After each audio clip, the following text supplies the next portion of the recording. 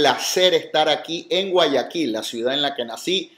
No venía hace 31 años. Y bueno, me enteré que están haciendo vino aquí en Ecuador. No es que la uva viene de afuera y aquí ensamblan el vino, no. Se cosecha, crece aquí y estas uvas son uvas ecuatorianas. Estamos con Joel Carrizo, enólogo, él es mendocino, está ahora viviendo en el Ecuador, es su patria adoptiva, al igual que Puerto Rico es la mía pero estaré regresando mucho a Guayaquil ya que tengo amigos y familia aquí. Qué placer yo tenerte en el programa. ¿ah? Un gusto conocerte, la verdad. Bienvenido. Estoy emocionado, dos hemisferios, un proyecto que es un proyecto definitivamente arriesgado, pero que a la vez ya ha dado frutos porque están en varios países y la presencia aquí en los diferentes establecimientos comerciales en Ecuador es enorme. Vamos a empezar un poquito hablando de ti y luego de la bodega. Joel Carrizo es enólogo, es mendocino. Cuéntame un poquito de tu trasfondo en el mundo del vino. Eh, bueno, sí, yo soy, soy de Mendoza, eh, estudié allá en la Universidad Tecnológica, me recibí en Mendoza. Eh, tuve un paso un poquito fugaz por, por, por, algunas bodegas de Mendoza y mi experiencia en realidad la, la hice en general en Chile. ¿sí? Estuve viviendo unos cinco años en Chile trabajando allá. También otro excelente lugar para el vino. Sí, muy bueno, muy buenos vinos, muy buena calidad, claro. eh, buena fruta, buena sí. altitud. La verdad que en ese sentido Chile tiene muy buen producto. ¿sí? Y bueno, eh, ya para el año 2021, después de dos años de pandemia Durísimo. duros, donde en Chile fue muy estricto, la verdad, sí, demasiado estricto, eh, salió la oportunidad de, de, de venir a Ecuador eh, con el proyecto que me presentaron y, y, la verdad que fue, en ese momento yo necesitaba un cambio eh, de, un, de, de, de, unos años muy complicados, la verdad, en Chile, lejos de mi familia. Y, y bueno, nada, me, me, me, interesó, me gustó lo que es todo hemisferio, el proyecto y todo lo que, bueno, vamos a ir hablando ahora sí, para sí, que sí. vayas conociendo. Y bueno, obviamente eh, los vinos y, y todo lo que, que nos permiten hacer acá, digamos, al ser un, la única bodega de Ecuador. Sí, eh, no, es, es, es, es, impresionante. Aparte tengo un cariño especial. Conozco a Robert Wright, que está detrás del proyecto desde que éramos niños. No lo veo hace 31 años. Espero que Robert vea esta entrevista. y llegaré, llegaré, si Dios lo permite, de nuevo en el verano nuestro en Puerto Rico, que mi hijo está de vacaciones en julio. En julio espero estar de vuelta y visitar la bodega en la, la costa. La bodega, Cuéntame de dos hemisferios. El nombre de por sí ya creo que es un nombre muy bien elegido porque tal vez Ecuador es súper, súper, hiper conocido mundialmente por estar en la mitad del mundo. Correcto. Entonces, háblame un poco de la bodega. Bueno, a ver, eh, la bodega se encuentra en San Miguel del Morro, ¿sí? que es eh, un pueblo que está más o menos a una hora y media de Guayaquil, ¿sí? es fácil de llegar. Eh, es un proyecto muy lindo, la verdad, eh, bastante arriesgado. En, eh, siempre hacemos hincapié, o cuando contamos la historia de que, que a don Guillermo le decían que estaba loco cuando empezó con esto. Y bueno, efectivamente varios pensamos que sí, porque bueno... Pero eh, loco estaba Steve Jobs, loco estaba Jeff Bezos, hicieron Apple y Amazon, ¿no? Exactamente. bueno, eh, ellos eh, empezaron, o sea, el proyecto empezó en el año 99 y empezó como uva de mesa, ¿sí? En, en esa época se inauguró un canal, ¿sí? Eh, en esa zona era como una zona muerta, no, no había ningún tipo de producción y se hicieron algunas como licitaciones para, para producciones agrícolas, entre ellos eh, uva de mesa, y es ahí donde adquieren la hacienda que tiene 360 hectáreas. ¿sí? Eh, esto empezó obviamente con, con, uva de mesa al principio, que era el proyecto inicial, se plantaron 3 hectáreas de uva de mesa. Y cuando dices uva de mesa, luego compramos el supermercado que se pone con una tabla de queso y te la comes. Exactamente. En Estados Unidos es la Concord, por ejemplo. Ya. La uva mesa que es totalmente diferente a, a, la uva para hacer vino, ¿sí? La uva mesa es una uva más, más grande, más, grande, más carnosa, no tiene semilla. En, bueno, para hacer vino queremos que la piel sea más gruesa, que la semilla esté, entonces hay distintas variantes claro. con respecto a eso. Bueno, eh, como es, el proyecto inició con eh, Guillermo Wright y, y, un amigo, ¿sí? y como ellos dos eran apasionados del vino, ¿sí? quisieron ver la posibilidad de poder hacer vino en el Ecuador, ¿sí? pero la, el primer, la primera barrera era producir buena fruta, fruta de calidad. De ahí nace todo. Exactamente, sí. Entonces, bueno, en algunos viajes que hicieron eh, a distintos lugares puntuales, ¿sí? lugares eh, vitivinícolas. Tu tierra, por Sí, norte de Argentina, norte de Brasil, trajeron eh, pedazos de fracciones de la planta, digamos, sarmientos, ¿sí? y eso lo plantaron acá. ¿sí? Y empezaron a hacer una reproducción vegetativa. ¿sí? ¿Qué quiere decir eso? Cortar un pedacito de la planta, dejar que raíces y plantarlo. Y así sucesivamente hasta que fue un trabajo de, varios años. Y llegaron a tener tres hectáreas de vitis vinífera. ¿sí? Una hectárea y media de Malbec y una hectárea y media de Cabernet Sauvignon.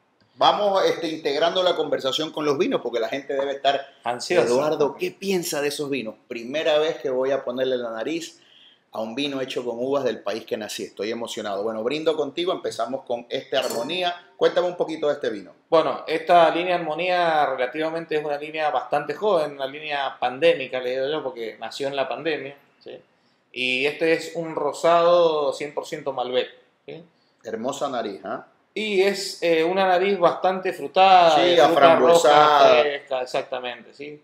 Predomina mucho la, fresa o la frutilla. Sí, sí, sí. Y lo que hemos buscado con este hay una hierbita también, por ahí una hierbilla. A ver, lo que, lo que hemos buscado, este vino es uno, creo yo, de los más consumidos, sobre todo acá en la tienda que tenemos de Guayaquil, eh, sobre todo por el tema factor climático. ¿sí? Este es un vino eh, fácil de tomar, refrescante, eh, frutado y que tiene una, un final en la boca un poco dulce. ¿sí? No sé si lo pudiste sentir. Fíjate, pensé que iba a ser más dulce, lo cual me entusiasma porque ya el vino dulce por ahí me, no me gusta tanto, me parece afrutado. Es una fruta natural, porque hay vino dulcificado, que es como un azúcar agregada. Aquí la, eh, la sensación afrutada, no dulce ni golosa, viene de la fruta. Entonces es como que te estás comiendo una fruta generosa. Es cuando la manzana, la verde es muy ácida, la roja es jugosita y levemente dulzona, pero de la fruta, no dulzona eh, química, no dulzona muy, muy rico está. Este, este, es un vino que nosotros, la fermentación, cuando termina, digamos, no la dejamos terminar, por así decirlo, y dejamos unos granitos de, azúcar eh, para que, bueno, tenga esa sensación de, dulzor al final.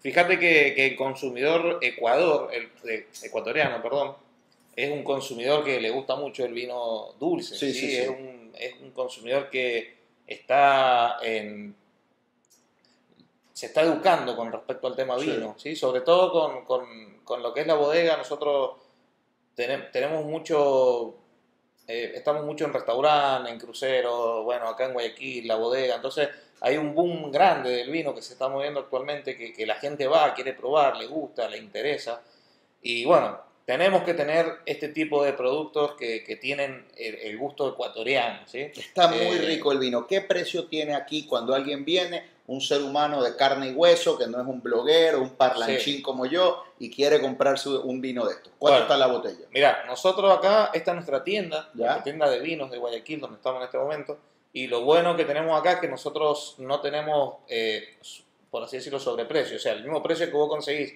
en el supermercado, en el retail, lo podés conseguir en esta tienda. Este vino tiene un valor de 10 dólares. Uy, muy bien. 10 dólares. Y, es versátil gastronómicamente, porque puede ir desde una fritada. El más versátil que tenemos justamente este rosado. Desde una fritada, puede ir también delicioso con un arroz con menestra y carne asada. Puede ir con una hamburguesa, una carne a la barbacoa. ¿Qué, gradación alcohólica tiene? 12 grados de alcohol hermoso este vino. Y ¿Será llevarme a Puerto Rico una botella? Puede ser. Este es el famoso vino engañoso, que uno se toma una copita, una ah, copita y no, te das cuenta. te paras y entonces el amigo te tiene que agarrar un poco. ¿ah? Bueno, de hecho, nuestra línea Armonía eh, este año ganó un, un, premio de reconocimiento de precio y calidad, ¿sí? Entonces, justamente más o menos. dólares está divino. Está divino, está bien, bien rico, de verdad, lo felicito. Bueno, y continuando un poco con, con la historia, digamos que, bueno, en en, esos viajes, como te contaba, trajeron esas fracciones de Sarmiento, pudimos tener 3 hectáreas de plantación y en el año 2006 eh, eh, salió nuestro primer vino, el primer vino ecuatoriano, que es el Paradoja, y que justamente lleva, lleva ese nombre eh, mostrando todo lo, que se logró, el paradigma que se rompió a la hora de, hacer vino, porque... el paradoja es, ¿qué uva? Es 50% Malbec, 50% Cabernet Sauvignon. En ese momento se hicieron dos barricas, ¿sí? una barrica de Malbec, una barrica de Cabernet Sauvignon, ese vino eh, tiene 18 meses de añejamiento. Y bueno, salió nuestro... ¿El roble de ustedes es francés, americano? Francés y americano. Usamos los dos... Los dos eh, Buscan poder y fines, poder y fines. Sí, y a la hora de hacer los cortes, generalmente toda esa parte es de forma degustativa, entonces vemos, vemos cuál, por dónde se comporta mejor. Sí, porque todos los años la fruta es diferente. Claro. Entonces no podemos siempre seguir con la misma receta, digamos. O sea, tenemos que sacar el mejor producto que tengamos en el momento. Hablemos del clima un ratito, porque la gente que nos está viendo dice, Ecuador, calor, llueve, ¿cómo, ¿cómo crees? Porque la gente piensa el vino necesita frescura, altitud, mucho sol, no mucha lluvia. ¿Cuán difícil o cuán arriesgado es que de repente esté todo y cae un aguacero, un diluvio de estos, o el calor se te dispara? ¿Cómo pueden hacer vino en Ecuador? Es la pregunta. Bueno, estamos, estamos en ese, estamos justo en el momento crítico de lluvia y todo eso. Bueno, eh, es un poco también el tema de, del gran desafío de hacer vino acá, la planta. Cómo se comporta la planta con respecto al clima, al suelo. Eh, el clima es, es, un clima donde estamos en, eh, que tiene una mínima histórica de 17 grados y una máxima que puede rondar entre los 33, 34 grados y todo el año va a ser así. Entonces, eh, estamos a 10 kilómetros lineales del mar. De hecho, en nuestro viñedo tenemos algunos fósiles eh, de mar, no sé, conchitas de mar, puedes encontrar. Eso nos, hace pensar de que en algún momento eso pudo haber sido mar. Em, por factor clima, la planta se comporta de una manera totalmente diferente a lo que está escrito en los libros. Por eso te pregunto, tú has hecho vino en Argentina, en Chile, países súper conocidos a nivel mundial por su vino y ahora en Ecuador. ¿Cuán distinto o por qué es distinto o en qué es distinto hacer vino en Ecuador versus Chile o Argentina? Bueno, lo primero, la primera diferencia es que tenemos dos cosechas al año. La planta tiene un ciclo vegetativo de un año, digamos, en los países del hemisferio norte y del hemisferio sur. Eh, ese ciclo vegetativo comprende un periodo donde la planta se cosecha, después la planta eh, se poda, ¿sí? que es lo que se, se le da conducción, después viene el periodo frío donde la planta guarda toda su reserva en, sus raíces y queda como si estuviera muerta, digamos, durante tres meses, tres, cuatro meses, y después de eso empieza los primeros calores, empieza a crecer de manera vegetativa y después de manera reproductiva, que la parte reproductiva de la planta es el racimo, ¿sí? es la descendencia que dejan. Bueno, y después se cosecha y se hace el, vino. Eso, eso dura un año. ¿Acá? Acá en Ecuador dura seis meses. Ya. Entonces tenemos dos cosechas al año y esa es la primera diferencia que tenemos con respecto a otras partes del mundo. Y también es un desafío doble, porque obviamente en ese trayecto que son seis meses donde la planta hace todo su ciclo vegetativo y reproductivo, tenemos que cuidar muy bien la planta para poder tener la mejor calidad de fruta. Claro. ¿sí? Eh, bueno, eso nos da la posibilidad de tener dos cosechas. Una la tenemos más o menos entre mayo y junio, y la otra la tenemos a principios de octubre, ¿sí? que incluso de hecho en este momento todavía queda un tanquecito ahí terminando su fermentación. Qué bien. Qué... Eh, ¿Cuántas uvas hay sembradas en la bodega de los hemisferios? ¿Cuántos varietales? Tenemos 12 variedades de uvas. Ya, Malbec, Chardonnay. Tres blancas y nueve tintas. ¿Ya? Las blancas eh, son Chardonnay, Sauvignon Blanc y Viognier. ¿Ya? Y de las tintas tenemos Malbec, Cabernet Sauvignon, Merlot, Petit Verdot, Anchelota, Tempranillo, Sangiovese, Pinot Noir. Eh, y no sé si me estoy olvidando de alguna. Creo, que las tienes, Luego lo buscamos. Yo les voy a poner el enlace para que vean el, link, las redes sociales de la bodega. Vamos al Tomás Carlos. Eh, Carlos, me vi a mi amigo Robert Wright en las redes hablando de este vino. Eh, creo que es un tributo a alguien especial de la familia. ¿no? sí. Don Tommy, como, como le dicen la familia y los amigos, eh, es el papá de, Guillermo Wright, que, actualmente eh, es el dueño de la bodega. Y bueno, eh, Don Tomás tuvo seis hijos, ¿sí? entonces el Tomás Carlos es, es un vino en homenaje seis uvas, las seis uvas, qué maravilla. Son seis variedades, cada variedad representa a un hijo. Qué lindo. Y bueno, es un blend de ¿Qué predomina? ¿Cabernet Sauvignon? A ver, tenemos 25% Cabernet Franc, 25% Malbec y tenemos 12,5% de Tempranillo, 12,5% de Ancherota. ¿Qué es Anchelota? No conozco esa uva. Anchelota es, es una variedad de uva que normalmente es como una tintorera, por así decirlo, una criolla. ¿sí? Eh, es una variedad que tiene un, un perfil a ver, es, medio complicado sacar un 100% Anchelota. ¿sí? Normalmente va en blend y en corte. Y es una, es una variedad que tiene un color bastante intenso. ¿sí? Y en general es un color que nos ayuda a, además que nos ayuda en perfil aromático, nos ayuda también a realzar el cuerpo y el color del vino. La nariz de este vino está divina, obviamente la pimienta, el Cabernet Franc, la tiene la nota violácea o de violeta del Malbec, bueno, le contamos a la gente que este vino tiene 24 meses de añejamiento en barricas de roble francés americano de primer uso. Sí, ahí está también esa nota de la barrica, la vainilla. Eh, aparece. Las, especias, pero está la fruta de bosque.